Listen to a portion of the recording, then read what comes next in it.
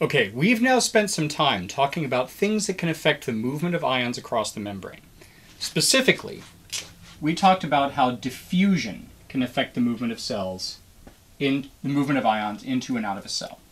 So, for example, if I set up a cell here where I had a concentration of sodium outside of 100 millimolar and a concentration inside of 10 millimolar, and I put a sodium channel here and said, which way will sodium diffusion tend to go? You would know diffusion tends to go from high to low concentration.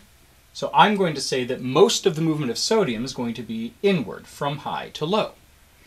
And you would be right as far as diffusion goes. But what we're going to do right now is talk about another thing which can affect the movement of ions specifically across membranes. And that's the idea of membrane potential.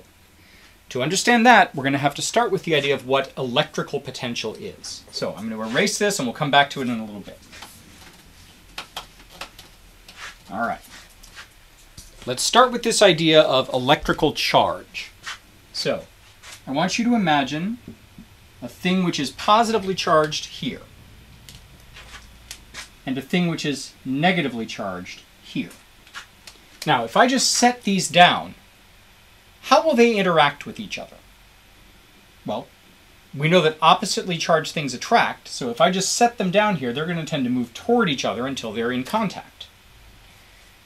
But what if I don't let them? Let's chain each of them to a little stake in the ground here. Okay, so they're not going to be able to move. So they won't. They'll sit there and, eh, I want to get, but they can't move. But that doesn't mean there's nothing going on between them. Now imagine that I set down in the middle a positively charged thing. I just set it down and move my hand away. What will it do? Well, it's going to be repelled from this one and attracted to that one. So what I think is going to happen is that this positively charged thing is going to start moving in that direction. But we know that things don't move unless a force acts on them. What that tells me is that between these two things, there is some sort of force. It's an electrical field that's going to exert a force on any charged thing that's in that that's in that field. It's not just like a wind going that way. If I put down a positively charged thing, it'll move that way. But what if I put down a negatively charged thing? It's going to move that way. Same force, but it affects positive and negative things differently. Now, I am not a physicist, and if you've studied physics, you know that what I'm about to say is iffy at best. But what I'm going to say is that between these two things, we have something you could call an electrical potential. Between these two unequal this area of unequal charge,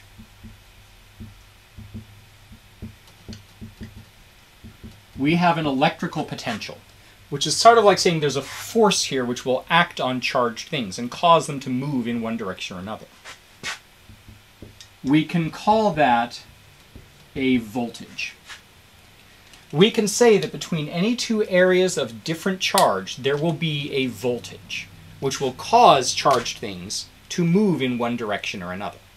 So anytime there's a difference in charge between two locations, we could think of there being a voltage between them that will make charged things move, that'll exert a force on them. So, that right now that exists between these two separated charges. But let's go back to the cell that I drew before and see if we can think of any other way that that could work here. So let's say that this cell has a concentration of 100 millimolar sodium out here and 10 inside. And just for the sake of it, let's put the same concentrations of chloride inside and outside this cell.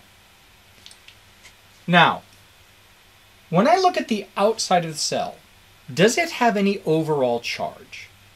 I can say I've got a certain amount of positive charge and the same amount of negative charge. So my conclusion is that outside the cell there is currently no overall charge. It's electrically neutral. And when I look at the inside, I could say the same. Same amount of, there's equal amounts of positive and negative charge, so they cancel each other out. And the overall charge inside is also neutral, zero. So is there any difference in charge between inside and outside? I don't see one. So if we were going to measure the voltage between inside and outside, let's make our little voltage meter here. We call that membrane. You probably can't see that because of the glare.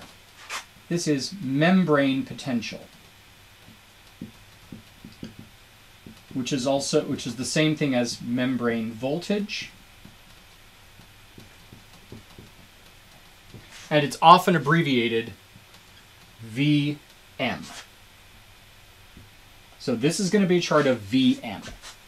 And here's going to be zero. Zero volts. Right now, in this situation, there's no difference in charge from inside to outside. So the voltage between inside and outside is zero right now. We'll draw that. I wish I, there it is. So our voltmeter is reading zero volts. Okay, hopefully you're with me on that one. If not, feel free to pause, go back, look at it again. But the idea we're getting at is what is the difference in charge between inside and outside? And right now, outside has no overall charge, inside has no overall charge, so there's no difference. But now I want you, I'm going to move the, I'm going to erase some of this to give me a little more room to draw. So just keep in mind that the red is sodium and the blue is chloride. I'm going to put in a sodium channel. Just a sodium channel, no chloride channel, and that's important. And I want us to think about what, what is going to affect sodium's movement. Now, first we'll think about diffusion. We can see goes that it's higher concentration outside than inside, which means diffusion, we'll label that with a D, is tending to go inward. We'll represent that with a downward arrow. The size of the arrow represents how much it tends to move. You could think, if you've done vectors, this is meant to be like a vector. Now, what else might affect it? Well, if there were a voltage here, if one side of this membrane was more positive than the other, or more negative than the other, that could affect it. Just like when we had those two charges and we put down a positive charge, it moved toward the negative one. If one side of this was negative, that would tend to pull the, the positive sodium ions toward it. But right now, there isn't any difference in charge. Both sides are neutral. Which means that if I look at electrical forces, there's no arrow, not inward or outward. So if I combine them, I'm going to label that EC.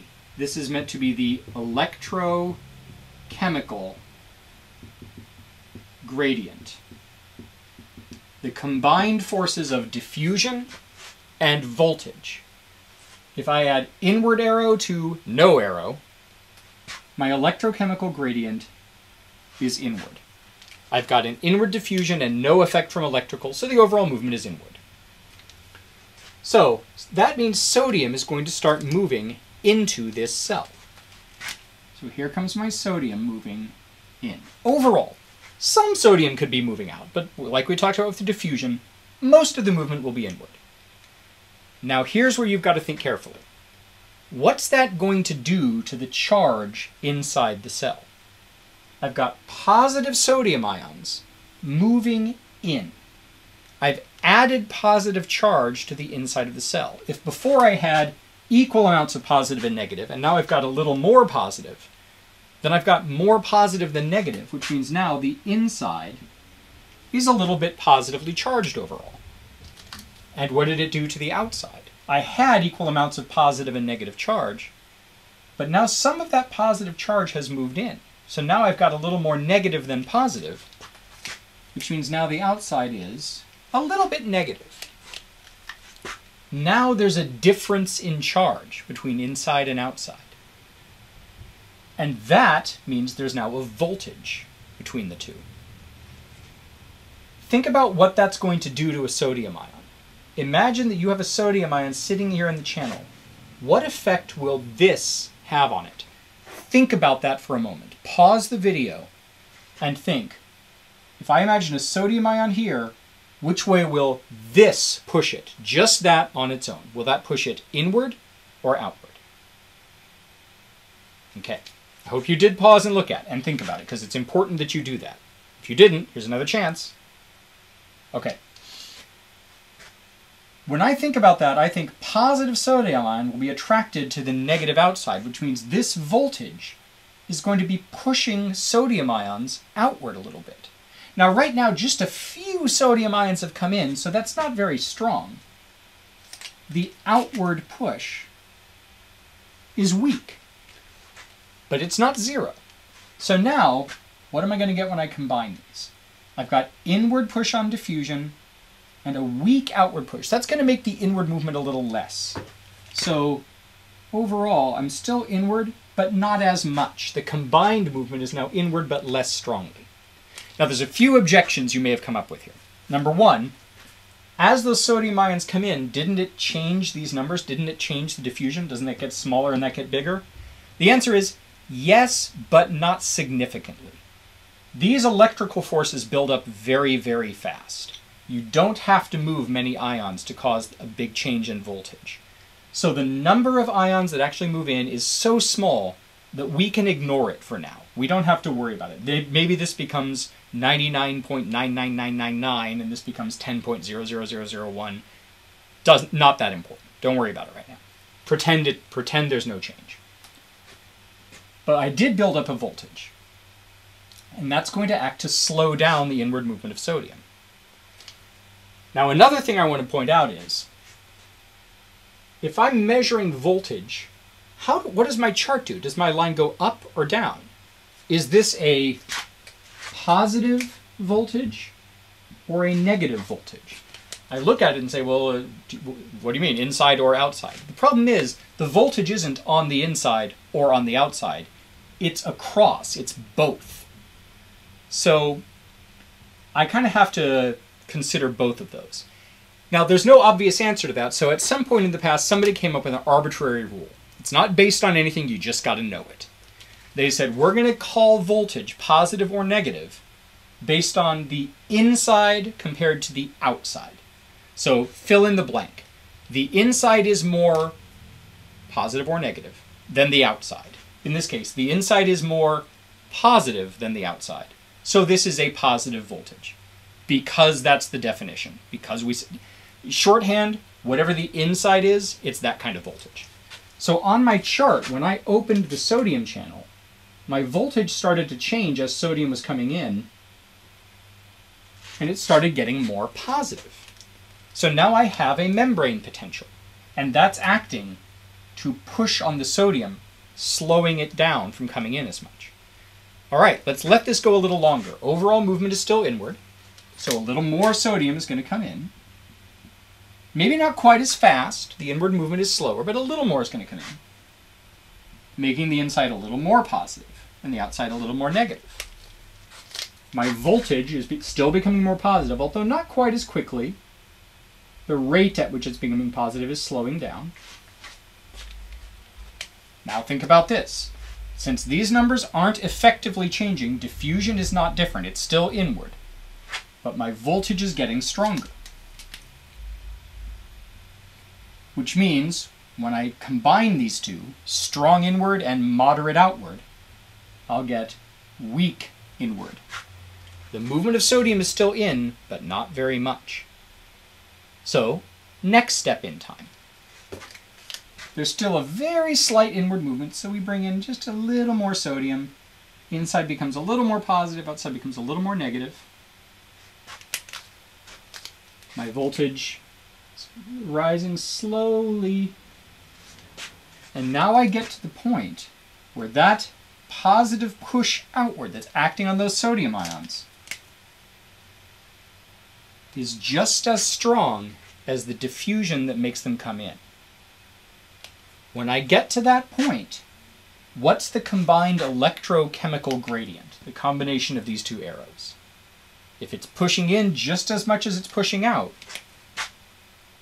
there's no longer any overall movement of sodium. Once the inward movement of sodium stops, my voltage stops changing. And it reaches a steady voltage. Now, there's a lot of misconceptions here.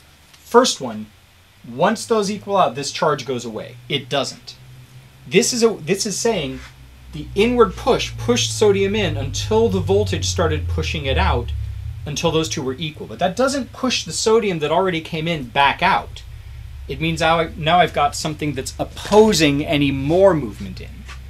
It's sort of like saying, if I've got a lever here and the more I push on it, the more it pushes back. I push and I'm still stronger, but it's pushing a little. And I push more and it and I'm still stronger, but it's getting more. And I'll get to a point where I'm pushing just as hard as it's pushing. At that point, the position of the lever is now constant. It's not going down, but it's also not going back. So now I've reached an equilibrium where my push is just as strong as the backward push. Likewise here, I let sodium in, making the inside more positive, until that push outward balanced the movement inward. And then I stop getting any more positive. I stop pushing the lever down, but it doesn't come back. I stay at this positive voltage. In fact, this is a true equilibrium, kind of like when we had osmosis, where water moved over until there was enough pressure built up to counteract it. This is also equilibrium. Right now, the overall movement of sodium inward has stopped, and now sodium is moving inward and outward equally. So we're at balance, we're at rest in a way. This voltage, this particular amount of positive voltage in this case, that's enough to make sodium be at equilibrium, has a name. We call that voltage the equilibrium potential for sodium, abbreviated ENA. The equilibrium potential for sodium is the membrane potential, Vm, at which sodium is in equilibrium.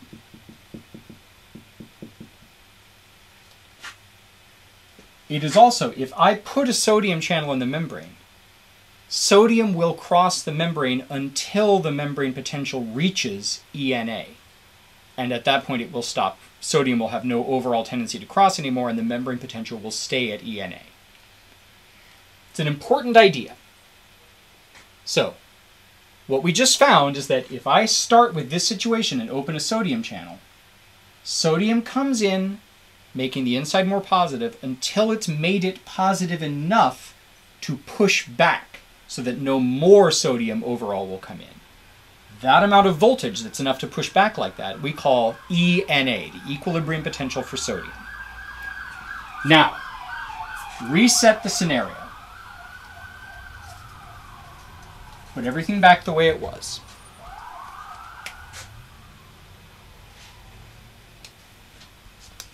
But this time, let's put in a chloride channel and see what happens. Now I'm going to erase the voltage chart I have, but I'm going to leave this. This is saying that this voltage was ENA. Let's put everything back reset everything. So now we're back to a membrane potential of zero. But now let's see what happens if we open a chloride channel. So, what's the diffusion tendency for chloride? Well, it's still inward, from high to low. In fact, it's the same amount of inward that sodium was. That arrow is the same direction and the same size. Right now, there's no overall electrical voltage on the membrane. We reset everything. So combined electrochemical forces are inward. That should be the same length. and sodium starts coming in. And what does that do to the charge inside the cell? Negative ion coming in makes the inside more negative and leaves the outside positive.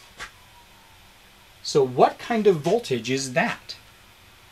Remember, fill in the blank. The inside is more than the outside. The inside is more negative than the outside. So my membrane potential is becoming more negative. All right, next moment in time. I've now got a negative membrane potential. What effect does that have on chloride's movement? If the inside is negative and this is a negative ion, it's pushing it out, attracting it to the positive side, repelling it from the negative side. So electrical forces are now pushing back, which means my combined movement is still inward, but less. So some more comes in and the inside becomes a little more negative. Not quite as fast as it was, we're slowing down a little.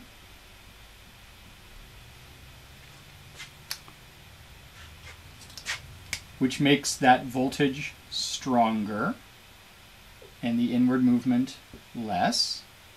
So a little more comes in. My voltage gets even a little more negative. And that then builds up that voltage until it's pushing out just as much as diffusion is pushing it in. And my combined movement is now zero. No overall movement, which means no more chloride is coming in, which means I'm going to stay at that voltage. I've reached a new stable voltage. And what do you think we call that voltage? The voltage which puts chloride at equilibrium. That is going to be, of course, ECL, the equilibrium potential for chloride. Notice that's a negative voltage. Now, if you want to think, if you want to try to think about this a little, I haven't given you a number. I haven't said this is X number of volts. There is a way to determine that. It's called the Nernst equation. It involves logarithms. I'll show it to you next time. Uh, you're not, you're never going to have to solve it, although it's not actually all that difficult. But one thing you could say, one thing you probably can figure out if you think about it hard is this. ENA is some number of positive volts. What's ECL? Here, I'm just gonna, let's just give it a number. Let's say ENA was 60 millivolts, positive. What'll ECL be? Here's how you might think about it. ENA was the voltage I needed to stop sodium's tendency to come in. Sodium's ratio is 10. 100 divided by 10 is 10. It's got a 10 times greater concentration. So that's how strong it tends to come in by diffusion. So I needed 60 millivolts to stop that much diffusion. What's chloride's ratio? And what do you think chloride's equilibrium potential will be? That's something I want you to think about. Next lecture, I'll try to, I'll give the answer. And if I forget, just ask me during class. Then I want you to think about one more thing. So we've looked at the idea of ENA and ECL. Actually, two more things I want you to think about. If I change this number, if I make this 1010, will that affect ENA, the voltage I would need to put sodium in equilibrium? Will it affect ECL, the voltage I would need to put chloride in equilibrium? So that's one set of things to think about. The next is this. What will happen to the membrane potential if I open a sodium and a chloride channel? I want you to think about those. Try to come up with some answers. Talk to me about it. Zoom me, email me, whatever. And we'll go over it in the next class.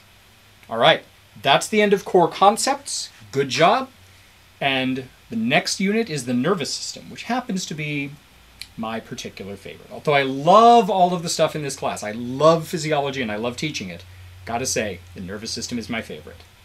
So, hope that was good, and I will see you in the next unit.